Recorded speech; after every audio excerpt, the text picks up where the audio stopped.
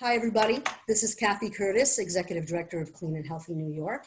And I have here with me today Senator Brian Kavanagh, who is the Housing Committee Chair and a member of the Senate Environmental Conservation Committee as well. Um, we're commemorating the 50th anniversary of Earth Day. Hard to believe that it's been 50 years since people first uh, around the world gathered to fight for and celebrate a healthy environment. And it's now more than ever, people are turning to the environment for a source of health and calm. Uh, Senator, what does um, Earth Day mean to you? Well, thank you, Kathy. It's great to be here. And you, of course, are also a great champion of the environment. So it's great to talk to you today.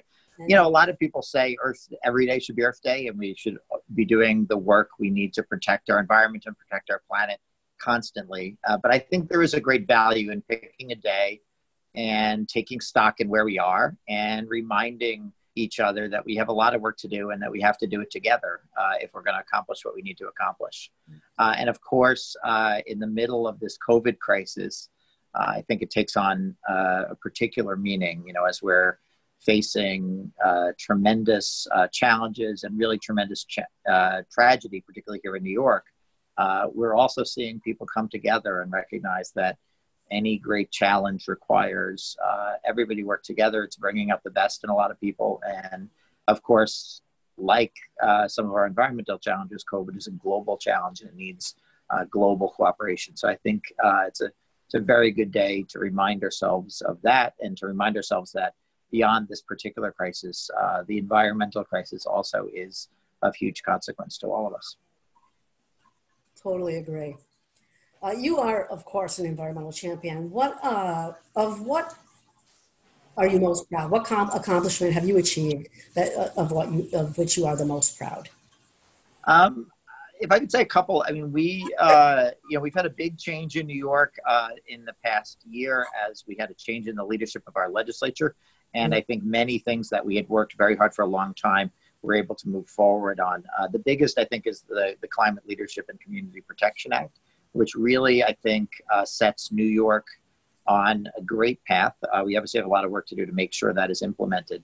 Uh, but I, you know, and I work with the National Caucus of Environmental Legislators, as I think you know, and uh, so I get to see that there's a lot of great work going on at the state level, in particular in the United States. Uh, you know, we, we are looking for our federal government to do more always, but states really have uh, taken the lead, and I think New York, in particular, has taken a great step forward through all of the advocacy and, and my colleagues uh, in both houses of the legislature and the governor signing that into law last year. Mm-hmm. Um, I would also say on, on New York was, I think, a leader on uh, fracking, on really restricting uh, fracking. Uh, we took steps uh, this year to make that permanent, the ban. Uh, it had previously been kind of an administrative thing. but of all the states that New York is, is a, a good example of a state with a big uh, drilling presence that took that step early and very forcefully to say that is not uh, a useful thing for to be developing. And I was very involved in that. Um, and this year we've also, as I said, catching up on a lot of old work. Uh, Liz Krueger, uh, when she was a state senator and I was assemblyman many years ago, began trying to ban styrofoam, polystyrene foam. And uh, I'm happy to say that also was enacted uh, last month. Uh, so you know, it's been a been a good stretch uh, in New York for the environment. Of course, we still have tremendous uh, challenges ahead, but um, you know, I look forward to. Uh, I would say, particularly with respect to, um, uh, I think we have a lot more work to do on product stewardship, on making sure that products that are produced. we've done some work on batteries and paint in recent years, but there are so many products where we would be better off if the producer of that product took responsibility for taking them back and, and making sure that they're handled responsibly at the end of their life cycle.